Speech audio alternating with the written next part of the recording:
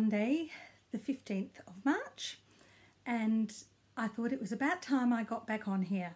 It's been about, gosh, 18 months to two years since I recorded a video, and I have lots to share and talk about. And I'm hoping to come back to you at this stage every single week because I'm embarking on a challenge. For all of those of you who know me, excuse me, I'm getting tongue tied because I haven't done this for a long time. For all of you who know me, I've battled a weight problem all my life. And it's starting to take its toll on my joints, on my breathing, my asthma, and just life in general. So I've decided that as I'm now 60, although that's another story, um, it's time to do something about it. So I am going to embark on a challenge, but before I tell you about the challenge, I just want to talk to you a little bit about the delightful Andrea and Andrew Doig from Fruity Knitting. Those of you in the knitting world will know that they're having a really tough time at the moment. Um, I think it was about 18 months ago, Andrew gave up his full time job to work on the Fruity Knitting channel with Andrea. They produce the best quality podcast, I think, that's out there the the knitting that Andrea does is just superb. They are so inspiring. I have really started to make things out of my comfort zone since I became an avid fruity knitting fan. Um, I would never have made my um, Catherine Howard top. I'll just get that to show you because I have finished that since the last time I was on here. I would never have attempted anything like this if it hadn't been for watching Andrew and Andrea. And just look at this, it's beautiful. And the back, look at that at the back. I don't know if you can see it terribly well. And the sleeves. Now, at this stage it doesn't fit me, but I'm hoping that by winter it will. Um, so I have nothing but praise for Andrew and Andrea. The, the quality of their podcast is superb. Andrew is so good at all the technical stuff that it's worthy of anything that you would see a professional production team on the TV produce. So, um, I think it was around September, October last year, Andrew was diagnosed with an inoperable brain tumour. And since then, he has suffered a lot, and they are more than anything suffering financially because they don't have any other income except for what their fruity knitting channel generates um, and the patron Patreon support that they get.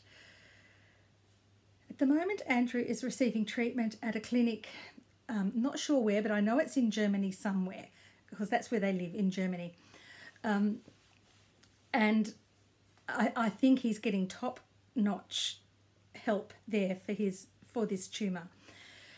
Uh, Andrea is staying there with him as support, but as you can imagine, the cost of something like this is very expensive.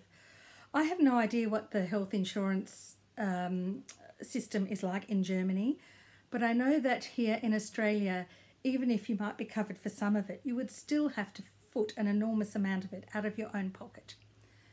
So, I've decided it's time to cherish my health look after my health, treat this body like a temple, and do something for Andrew and Andrea. So I'm going to set myself a challenge to lose 10 kilograms in 10 weeks.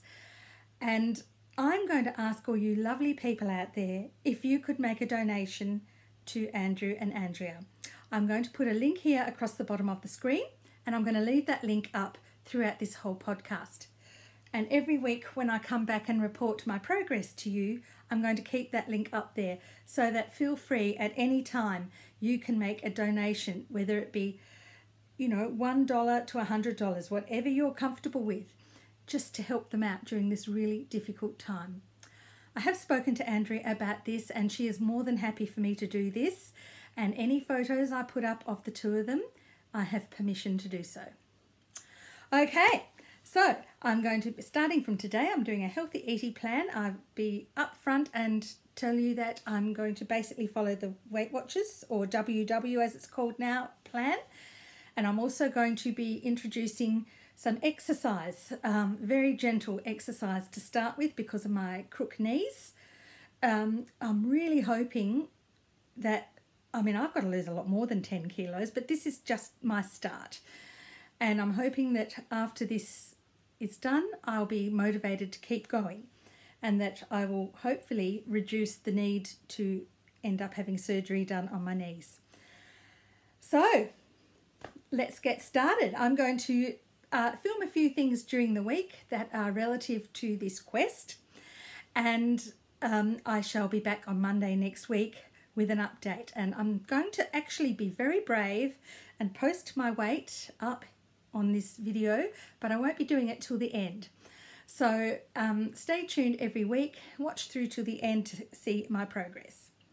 But in the meantime, I have been doing some knitting. Uh, my main project I'm working on at the moment, just bear with me while I stop knocking all this off my table, is a Fair Isle blanket. Now this is designed by the wonderful Marie Wallin and this was her Fair Isle Club number one blanket. Now you cannot purchase this anymore at this stage. There is talk that she may release the pattern one day in the future, but I don't know if she's going to do that or not. Um, I have made one of these before, um, and it was four years ago when my dad got very ill and passed away. And it's a series of 12 squares which you then sew together and knit a border around the edge. And when my dad got very sick, and I had to um, hop footed off on a plane over to Tasmania, um, I was working on, I had almost finished this blanket and I was working on square number 11. And funnily enough, I'm up to square number 11 now on the second time through. And this is it. And this was actually my favourite square when I knitted the blanket before, perhaps because of the memories associated with it, but also it, it sort of um, doesn't have the small repeats like all the other squares have. So it's quite a long, as you can see, this is quite a long pattern repeat on this um, square. And, and here, you've got from here to here. So it's not one that you can really memorize. Uh, but I love it. And if anyone likes to see the back, this is the back. So it's, it's quite neat. I'm quite happy. These have all been um, weaved in as I've sewn, as I've knitted, sorry. So they've just got to be snipped off. I will still have some ends to sew in. Oh. Right, I'm sorry about that. That was my daughter just arrived. Um, she had a little doctor's appointment and the doctor's just up the road from us, so she called in for a cup of tea. So we've been having a lovely little sit and chat outside and I thought I'd better get back to this and I have no idea what I was up to or saying. So, so this is square 11, um, but I just thought I'd show you the other ones I've done. There's this one. I love the colours in this. They remind me of coolness and winter.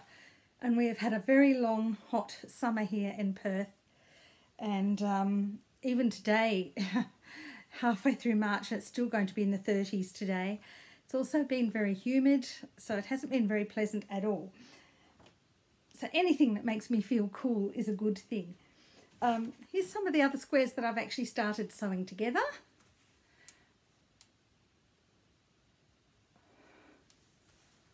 This is actually going to be a gift for someone. So um, I had I had quite a lot of scraps left from the first one I made and also one that I made a similar one for my daughter. Um, so I thought rather than the scraps just sitting there, I'll make another one. And I think all up I've only had to buy half a dozen extra balls of wool. And it's made, by the way, with Rowan uh, felted tweed. And then I've also sewn these ones together. This is a whole strip that's actually finished. So you sew it, sew up three strips with four squares each and then you sew the, the strips together and then you pick up the stitches around the edge to do the border. So it's starting to look, can't see what I'm doing. Yeah, it's starting to look really good. This Rowan felted tweed knits up absolutely, oh, it's just beautiful yarn to work with. Uh, and there's some more up here. As I've been finishing them, I've just been um, pinning little uh, number tags so I know which square is which for when I sew them together. This is the other one of the other strips I've started to sew together. That's a beautiful one. So that's getting there. I don't know how long it will take. I'm sort of prioritising this project at the moment. Um, I should have square 11 finished, I reckon, in two or three more days. And then I'll have a break for a few days and work on some other things. And then um, I'll do the last square. And then I'll have another little break. And then it will be all full steam ahead picking up the stitches and doing the border.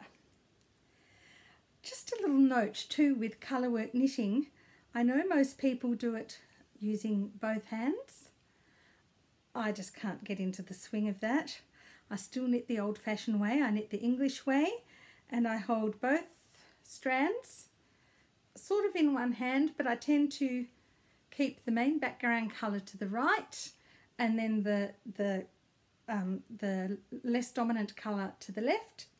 And I sort of hold that down with a finger while I'm working with that um, the with the background colour.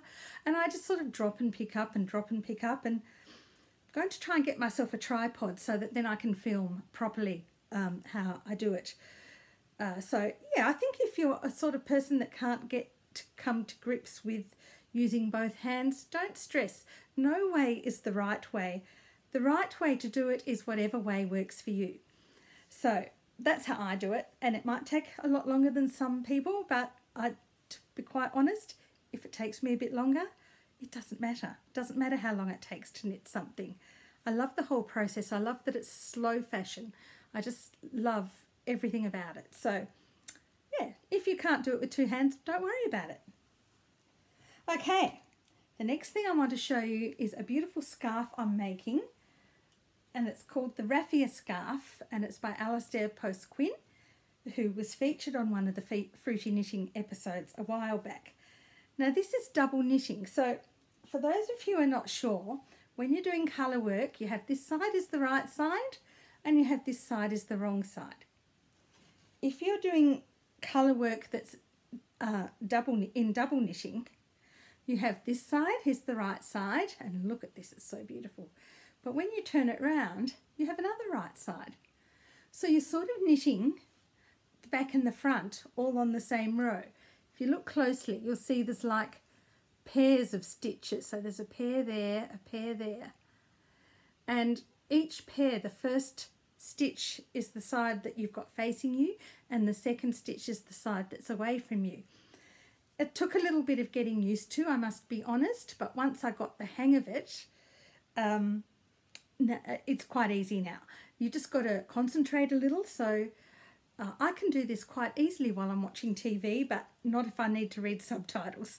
So just be warned, you do need to concentrate a bit. But it has this lovely edge because you slip a stitch every uh, row. It has a lovely edge down the side. And I'm using um, uh, one of the Hobbii yarns for this, or Hobie, I'm not quite sure you pronounce it. And I think it's Danish. And it's the Dolce Cashmere yarn um, I'm not quite sure of doesn't actually have colours written on it it's just numbers but they they are like an ombre ombre um, effect they sort of fade from a, a dark colour through to a light colour so I'm using the two different colours I'm using I'm using these lovely bamboo needles from um, One More Row in Perth sells these they're Japanese and they're really lovely so this is the uh, lilac-y pinky colour and I'm uh, still in this quite dark section. interested to see how it, um, the light's not terribly good in here, but it will go then to a, a light paler lilac, then to a more pinky, then almost like a, a greyish white with a pink tinge.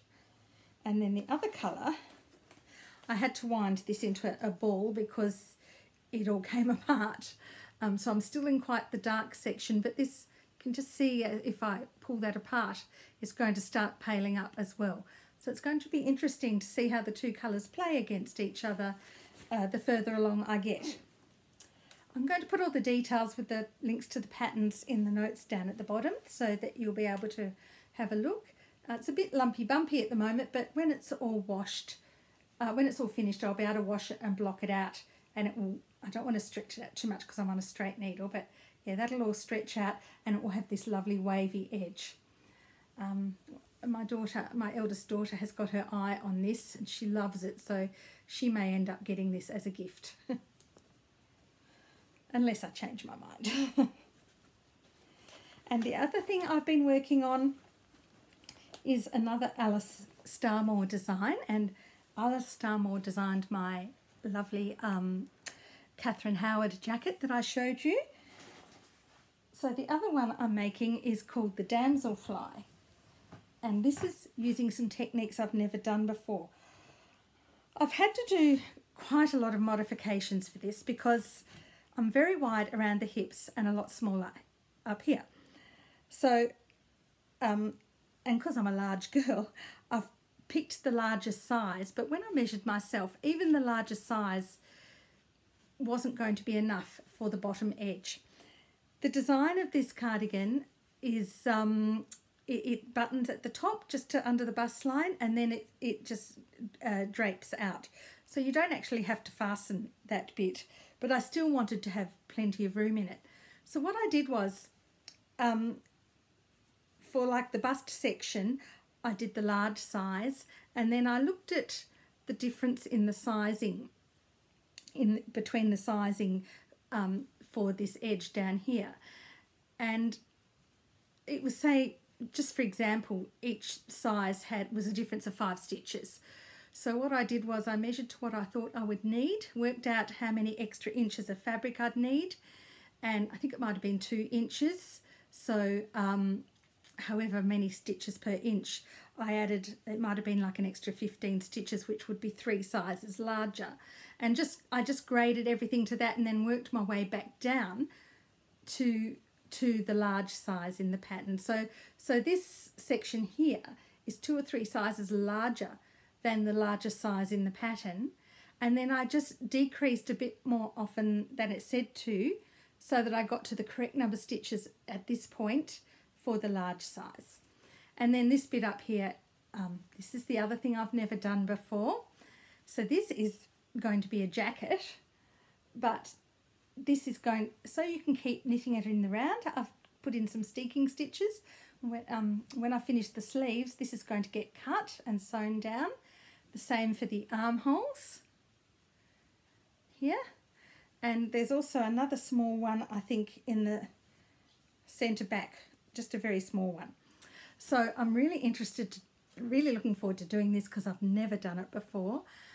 And look at the back, oh, I just love these colours.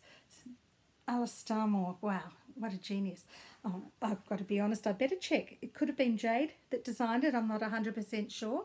Um, but you can find all these designs on Virtual Yarns, and I'll put a link in the notes below. It's just beautiful. It's been folded up in my bag, so it will need to be washed and stretched out a bit. Her colours are just gorgeous. You can get this in a kit from her website. Um, and I think she's got three different colorways in it and this was the latest colorway she added for this pattern this is the red damselfly and I just love it I've got some nice buttons somewhere too that I'm going to use on the front um, I'll try and have those out for next time so that's the main body of it and then here's one of the sleeves now I still think the sleeves are going to be a bit tight I haven't finished this sleeve yet um, so hopefully by winter I'll get some arm exercises in, hope to reduce a little bit of this and then hopefully it will fit. And this is the other sleeve which is finished. So I haven't actually got a lot left to do. When I finish this square I'm working on on my blanket, I'm going to then do the sleeve cap on the other sleeve. Um, so then once I finish the blanket, all I really have left to do on this is to cut the steek, sew the edges down and then pick up the stitches to do the bands. So most of the hard work is done. so that's it for all my knitting and this has been a little bit all over the place, I'm sorry, with the interruption and with the nerves kicking in because I haven't done this for a long time. I have lots of projects, a couple of other projects on the go. Um, I'll just show you quickly. I've been doing the, the COVID 19 blanket by Arne and, Arne and Carlos. This is just some of the squares I've got done. But I've put this a bit on the back burner now because um, I want to finish my Marie Wallin blanket. So I'm not going to touch this now until I've finished that one. But there's lots of lovely squares. Um, I have started sewing some of them together, but I won't get them now. I'll wait till I start doing more work on it to show you. I'm also working on a Jennifer Wood design at the moment, another lovely jacket. Um, and um, but I'm not. I've put that away now until I finish my Alice Starmore one. So I hope you're all well. Um, we haven't been away very often because of COVID. We've sold our caravan. We're upgrading to one that's got its own bathroom facilities in it, and we should be able to take delivery of that in about two months' time. So we're hoping to get away then for some short um, breaks. And so I haven't got a lot of holiday photos to post for you. We did stay last last year, just when COVID hit, just before Easter, we were going to go to a lovely place in the south of Western Australia called Quinninup. And we had it all booked. And then just before Easter, we were all, uh, we weren't really in a lockdown here like other parts of the world have been, but we weren't allowed to leave our region. So we could basically only stay in the metropolitan area. So we rang up the caravan park we'd booked into and they very thankfully gave us a credit. So as soon as the borders were lifted, we did head back head down there and it was the most beautiful location. It was the middle of winter, so it was nice and cold. Oh, when I say cold, I'm talking like 16, 17 degrees. That's cold for Western Australia. And I was able to wear some of my winter knits, which was really nice.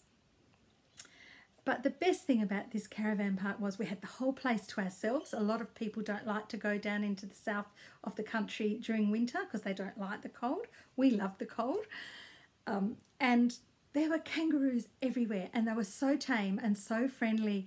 There was one old kangaroo that almost used to tap at our door in the morning because um, John looked up what you can feed them and you can feed them oats. So uh, all my breakfast porridge oats were getting fed to the kangaroos and they were there waiting for him every morning which was just lovely. So i'll try and find a few photos from that and put up at the end of this.